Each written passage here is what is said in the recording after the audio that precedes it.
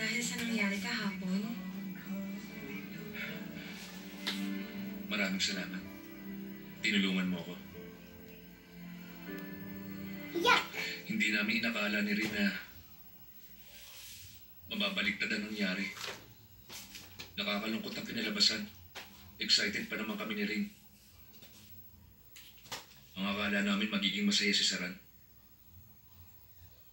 Pero ibang nangyari. Alam mo, ramdam ko ang hinagpis mo sa nangyari. Pero ang tanga ko talaga. Hindi ko alam na nasasaktan ko na pala si Saran. Pero sana dapat ang ginawa niya.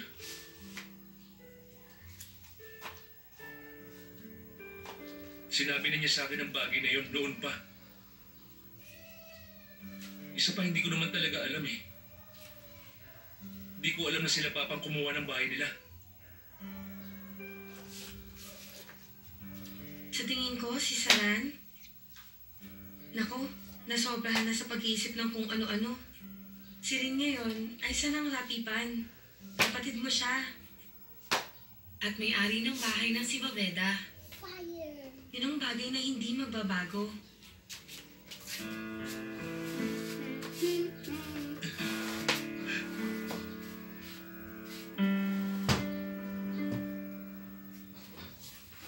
May bagong info na ba tayo kay Kao, sir? Inuutos ko na suyuring mabuti ang routing sa timog sa araw at gabi.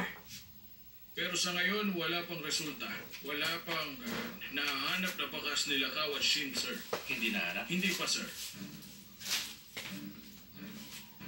Director General, nasulib na po ng kapulisan ng istasyon ng tren, pero di pa rin nahanap si Nashinag Kao. Lalabas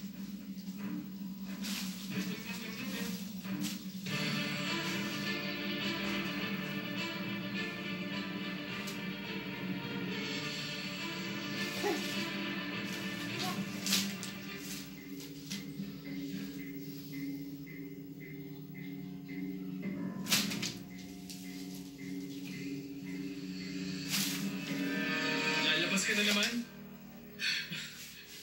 Ano ba, Aron? Huwag kang maingay. Magkikising sila, Papa. Hindi kita kayang sundan gabi-gabi. E di hindi. Aalis pa rin ako. Alis niyo dyan. Sasama ako. Aaron, bakit kailangan mo pang sumama? Nag-aalala ako sa'yo.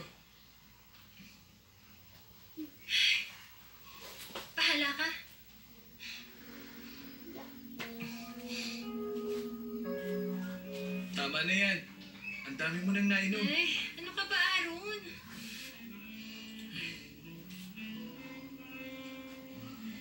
Hoy, sir. Ilabas mo naman ako ngayong gabi. Sige na.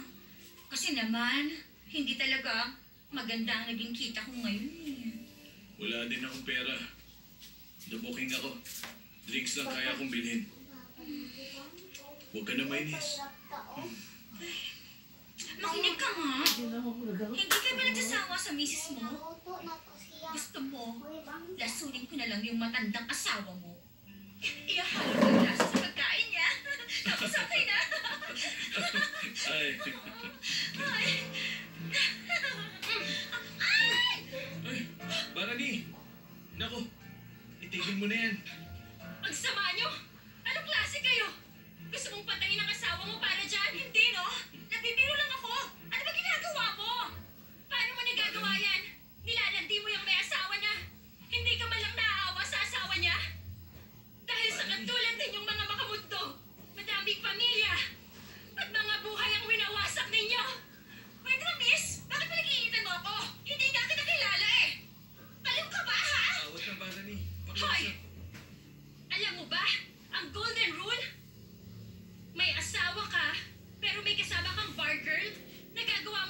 Mong magsinungaling sa kawawang asawa mo, ha? May mga anak ka bang babae? Pag kinarma sila, anong gagawin mo? Pag nakita mo silang nahihirapan, Hoy, sinusumpa mo ba ako? Huh? Hoy, teka, teka. Easy lang. Teka, sandali lang. Ito, kunin mo na. Para sa damit mo. Sige na, sige na. Ito naman para sa'yo. Halika na, Barney. kayo. Kaya matakot kayo. Tama na yan, Barney. nakuto. Tama na. Kinamumuhian ko Alis kayo. Basura! Mga basura! Bitiwan mo nga ako, Aaron! Tara na, Ano na ba? Sinabi na bitaw eh! Basta-basta rin ako. Huwag na huwag na kayong babalik dito! Uuwi na tayo, Barney. Hindi na kita papayagan pumunta sa ganitong lugar. Hindi tama yung ginagawa mo. Lalo na paglasing ka na.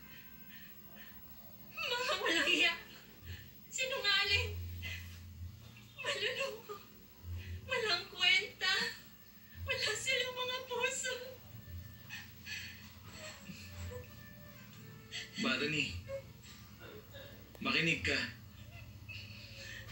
Kung gusto mo magiganti kay Panig, kailangan mo alagaan ang sarili mo. Dapat magsisi siya pag nakita ka niya. Huwag mong sirain ang sarili mo ng ganito. Pagtatawanan ka niya kapag nakita ka niyang ganito.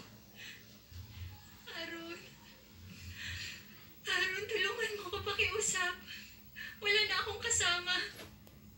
Isa na akong separada ngayon. Iniwan na talaga niya ako.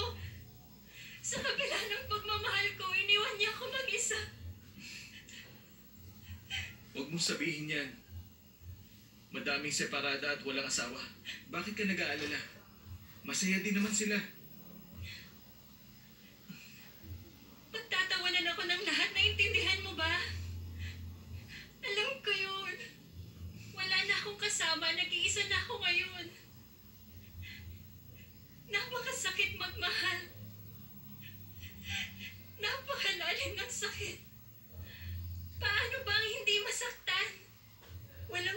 sa umibig, hindi ba Aron? Pero bakit kailangang masaktan at mapahamak?